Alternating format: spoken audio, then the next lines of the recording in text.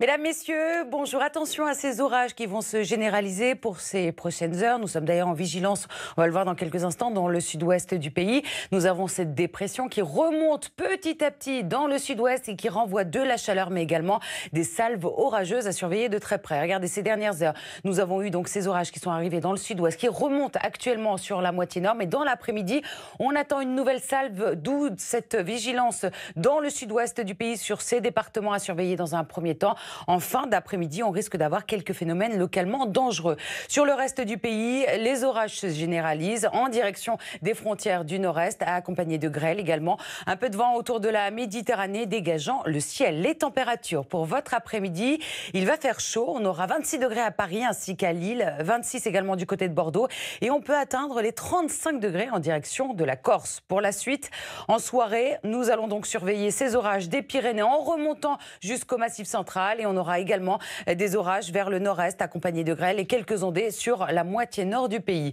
En matinée, nous allons garder les résidus de cette dégradation sous forme de nuages bas, de bandes brouillard, des Pyrénées en remontant jusqu'au nord-est, quelques coups de tonnerre déjà le long des côtes de la Manche, toujours du soleil autour de la Méditerranée, mais dans l'après-midi, les orages seront plus présents dans tout l'ouest du pays, notamment en direction de la Normandie ou encore vers l'ouest de l'île de France ainsi que vers le Pays Basque. Tout cela avec le vent qui va souffler jusqu'à 90 km/h.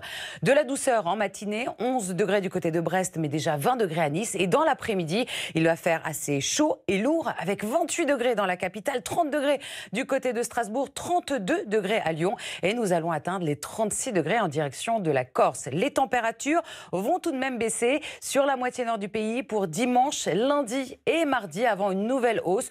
On sera de nouveau dans des valeurs de saison. Et regardez ce qui vous attend pour ces prochains jours. Dimanche, cette fois-ci, on aura de fortes précipitations dans le nord-est, accompagnées de quelques coups de tonnerre. À l'arrière, un ciel de traîne plutôt actif. Toujours un peu plus de soleil autour du golfe du Lion. Je vous le disais, une baisse des températures sur la moitié nord. Lundi, un ciel nuageux sur les trois quarts du pays. Plus de soleil dans le sud de la France. Des températures en dessous des moyennes de saison. Et à partir de mardi, les nuages seront certes nombreux. On aura quelques ondées dans l'est. Mais petit à petit, les températures vont remonter à partir de mercredi. Tout de suite, place au journal.